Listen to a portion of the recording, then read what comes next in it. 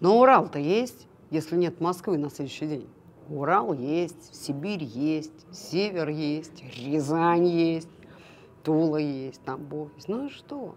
Бали есть, вот, Пекин стоит, никуда они не деваются. Города. Я считаю, что если вдруг наш город